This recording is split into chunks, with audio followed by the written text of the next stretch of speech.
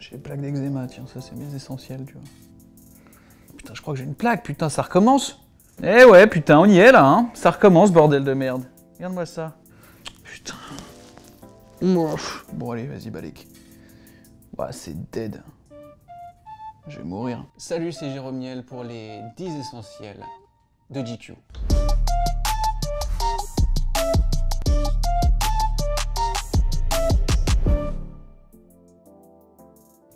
10 essentiels, euh, c'est euh, les clés de chez moi. Car sans elles, je ne rentre pas chez moi. Donc là, on a la clé, euh, la première clé de, du hall. Là, on a la, la clé de mon l'appartement. La clé du bureau, c'est un... euh, attends. Mais qu'est-ce que c'est que cette clé? Mais merde, je sais plus c'est quoi. Ah non, euh, clé de la maison de mes parents. Parce qu'en fait, j'ai eu une clé pendant au moins 3 ans. Je croyais que c'était vraiment euh, la clé de chez mes parents. Et en fait, ils m'ont dit, frère, on a vraiment changé les clés depuis 2 ans. Clé boîte aux lettres que j'utilise bien évidemment, bien évidemment très rarement. J'ai cette phobie de la paperasse et de l'administratif. Tu recules, recules, recules le moment où tu vas avoir cette amende euh, gouvernement.fr, tu vas les régler avec ton putain de téléphone. 400 balles, 135 la dernière.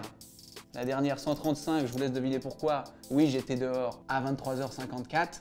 Et qui est tombé nez à nez avec une Golf banalisée avec trois keufs à l'intérieur, et bien c'est moi, effectivement, je n'avais pas d'attest- d'attestation, donc j'ai assumé et j'ai payé 135 euros, bien évidemment, en espérant que j'allais jamais recevoir cette amende, et je l'ai reçue. Donc j'ai payé euh, via un système euh, de poulie. Trois fois, je me suis retrouvé enfermé dehors, dont un, moment où il y avait un match euh, du PSG de Champions League chez WAM, donc je sortais pour acheter des conneries chez Picard. Bam, la porte qui claque, les clés à l'intérieur, comment on fait? Et bah du coup, on va au bar d'à côté chercher une putain d'échelle, parce que comme j'adore la clope, je fume, et comme je fume, je laisse la fenêtre ouverte. Donc je suis allé chercher une, énorme échelle dans un bar, je dis tu peux pas prêter ton échelle s'il te plaît, je suis enfermé dehors, il faut que je re-rentre chercher mes clés pour ouvrir euh, de l'intérieur chez moi. Et j'ai pris euh, donc l'échelle, je suis allé dans ma cour, euh, j'ai grimpé et ça je l'ai fait trois fois. Donc je suis un peu une tête de linotte. Hein Il y en a qui disent que je suis une tête de linotte, il y en a qui disent que je suis un fils de pute. Donc ça, ça dépend, tu vois, c'est des bagarres, au gré des bagarres dans les bars. Voilà, donc les clés, c'est super important. J'ai eu un scooter, j'ai laissé les clés dessus plusieurs fois dans ma vie, et un jour, je les ai laissées, et le scooter est parti. Voilà, donc ça, c'est pas mal de leçons qu'il faut retenir. Toujours avoir ses clés sur soi et les garder dans sa poche ou dans son cul. C'est comme vous voulez, selon vos délires. Deuxième essentiel, alors c'est mon portefeuille, mais en fait, c'est pas mon portefeuille, c'est ce qui se trouve à l'intérieur. C'est une découverte que j'ai fait il il y a un peu plus de deux mois grâce à un ami. C'est ceci. C'est une euh, carte Navigo. Alors, je, connaissais un peu le game non plus. Ça vient du 7-8, donc euh, j'utilise un peu ce, ce genre de bail-là. Mais sauf que depuis que je suis à Paris, moi, j'utilisais vraiment que des tickets de métro, comme un débilos, tu vois, ce que, ce que j'assume être par moment. Et un jour, il y a mon pote, qui, euh, mon pote Axel, qui me voyait prendre des tickets de métro un à un comme ça, et qui m'a dit, mec, ça peut plus durer, viens, regarde, on va à 3 mètres, on va voir l'humain qui est derrière euh, dans sa, dans sa cage de plexi, et tu vas voir, tu peux mettre plusieurs tickets de métro euh, sur cette carte-là. Et donc, et après, tu la passes, tu sais, sur le ça fait comme ça. Et moi, j'ai découvert ça alors que je suis à Paris vraiment depuis 25 ans. J'espère qu'elle n'existe pas depuis plus de 10 ans ou un truc comme ça. J'ai l'impression que c'est un peu récent et qu'ils sont sortis les doigts et que ça fait plaisir. Bravo la famille. Donc ça, avec euh, cet homme qui a une sorte de relent, on dirait qu'il a mal digéré son kebab et qui va, qui va gerber comme ça. En fait, il regarde euh, sa tub qui ne demande plus. Moi, ça n'a pas d'impact. euh, sur mes érections. En revanche, euh, bien évidemment, c'est quelque chose que j'apprécie beaucoup. J'essaye de diminuer. Pendant le confinement, j'étais passé à deux clopes le matin, direct comme ça. Bam Avec le kawa. Là, là Et je me suis dit, attention T'es en train de... Donc là, j'essaie de réduire, tu vois, une le matin avec le kawa, euh, une après euh, manger, une euh, avec un deuxième kawa l'après-midi, une le soir. J'essaye de ralentir, ralentir comme ça. Mais je pense que j'arrêterai jamais, parce que j'adore ça. Il y a 5-6 ans, quand je voyais le, paquet de, clopes à Londres à, à 10 balles, je faisais putain, les cons et tout. Et bah voilà, ça y est, on y est. Ça, c'est un putain de billet de 10. Et pour l'instant, je continue. Alors, euh, jusqu'où ça va nous mener, ça j'en sais sans doute à la mort. Bien évidemment, c'est le kawa, le café, hein. Espresso ristri- ristretto. Donc là, on est chez Malongo. Euh, Malongo, c'est un peu du commerce équitable, tu connais, donc ça c'est plutôt, euh, c'est plutôt cool. C'est pas un choix, Hein. Malongo, c'est pas un choix. C'est juste qu'à Noël, j'ai reçu un, de mes plus beaux, cadeaux de Noël que, m'ont fait mes parents. C'était une machine expresso de marque Malongo. J'ai déballé le truc. Tu vois, euh, les darons qui peuvent être euh, souvent à côté de la plaque, on va pas se mentir, euh, mais c'est pour ça qu'on les aime.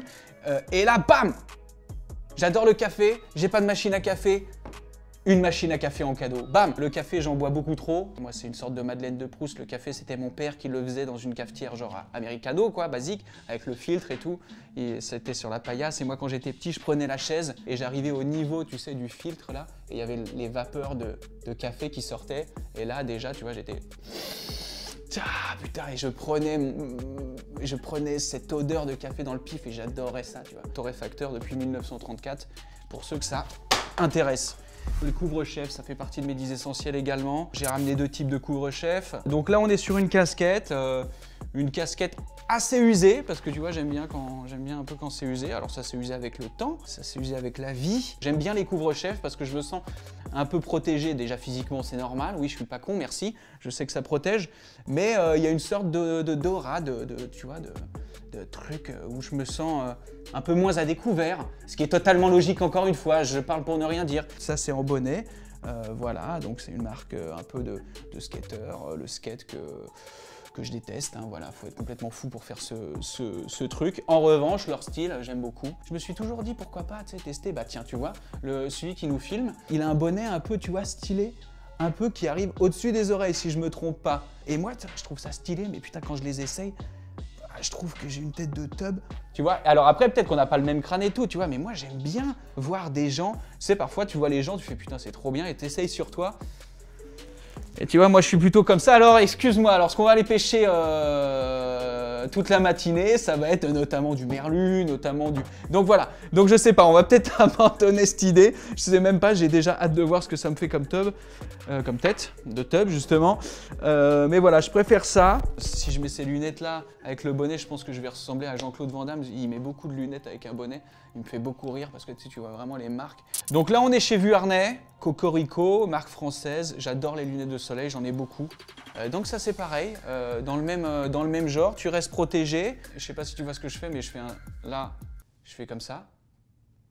Oh, Je pourrais laisser aussi comme non, voilà, comme ça. C'est un peu plus acceptable. J'en ai même dans ma poche, je crois, une autre dans ma poche intérieure. Euh, voilà, donc ça c'est un autre style. Plus rond, euh, plus jovial, plus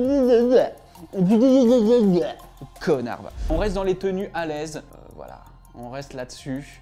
Là, c'est des crocs. Mon cul sur la commode, c'est dégueulasse. Qu'est-ce que ton avis peut me foutre Par exemple, ça c'est un premier point. À savoir que dalle. Regarde ça. Est-ce que tu as déjà connu ça? Bon, bah voilà, ça, ça retient un peu plus derrière. Ça peut se mettre comme ça. Déjà, c'est magique. Ça fait rappel à l'enfance, tout, euh, l'enfance, tout ce qui est construction, tout ça. Mais moi, je les ai eus. C'était un peu un accident lors d'un sketch que j'ai tourné avec le studio Bagel, où il y avait Natou d'ailleurs. On interprétait des médecins. Et v'là-t-il pas que quand je mets mes pieds dedans, je me dis c'est ultra confort. Je trouve que tu ressens un peu une piste d'athlétisme. Vous savez la piste d'athlétisme, cette fameuse piste d'athlétisme où c'est un peu molletonné comme ça. Je sais pas si ça vous dit quelque chose parce que moi j'ai fait de l'athlé, voilà, à très bas niveau, hein, très très bas niveau. Et le design n'a aucun euh, impact quant à un confort pareil. Donc je les ai gardés. À la, fin du tournage, j'ai fait ça. Est-ce que je peux prendre De toute façon, c'était pas négociable. C'est mes chaussons de maison. Euh, je, les ai, je les ai passés à la machine euh, juste avant de venir parce qu'elles étaient quand même un peu cracra. Le tote bag, celui-ci vient d'APC comme vous pouvez le voir puisque euh, normalement vous voyez les lettres A, P et C. Une marque que j'apprécie et moi j'ai commencé à l'utiliser dans un premier temps pour faire des courses et puis dans un deuxième temps pour me balader, pour prendre des affaires et pour tout faire. Et alors là, je me suis rendu compte à quel point le sac, le tote bag était absolument magique. Là, je suis venu avec un sac à dos, mais j'aurais pu tout mettre, je pense, finalement, dans le tote bag. J'ai pas été malin, un peu con même. Regarde, on va tout mettre, regarde. Clac. Regarde, regarde, regarde. Clac. Les lunettes. En fait, l'accessibilité devient dingue. Je veux une carte, il y a le métro, qu'est-ce qu'il y a? Tiens, hop, tu veux cloper? Connard, va, clope, allez, clope. Ça, hop, ça, ça fait pas partie de mes 10 essentiels. hein. C'est juste pour là maintenant, mais sinon. euh. Tu veux mettre un sac à dos dans le tote bag? Tout rentre, tout rentre, c'est magnifique. Tu sais, c'est un peu, ouais, une sorte de, une sorte de sac de magicien où tu peux sortir, tu vois, où souvent j'avais des débats avec des copines et tout, mais qu'est-ce que tu mets tout là-dedans et tout? Et je me rends compte que c'est vraiment la vie.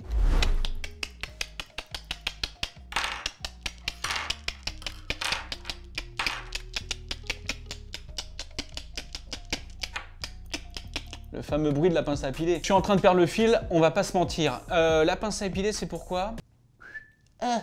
Euh, pour épiler le nez, à peu près une fois par mois, je me fais une update, je regarde, hop là, je me rapproche de mon père, je fais ouais, il est temps de, il est temps d'enlever ça. Et donc je chiale et en plus en ce moment, je commence à découvrir des poils blancs. Un peu ici, un peu les sourcils de temps en temps parce que ça part, tu sais, en, en sourcils super longs de Daron ou de Ryu, tu vois. Or, je suis pas un combattant de Street Fighter, donc ça en bat les couilles, autant les enlever, tu vois. J'ai pas, pas le physique, j'ai pas les compétences d'un réel combattant. Donc autant avoir un truc un peu clean. Donc ça, c'est super important. Donc ça, euh, c'est de l'huile. Euh, on est à 20%, euh, c'est du CBD. Les laboratoires Stila qu'on embrasse, que je connais absolument pas. C'est quelque chose qui, je crois, est censé te détendre un peu. De temps en temps, j'ai un peu du mal à dormir. Donc, il est préconisé de soit de le mettre dans des aliments, pourquoi pas, ou de se mettre, tu vois, quelques petites gouttes sous la langue. Je vais vous montrer quand même. Hein. Mm,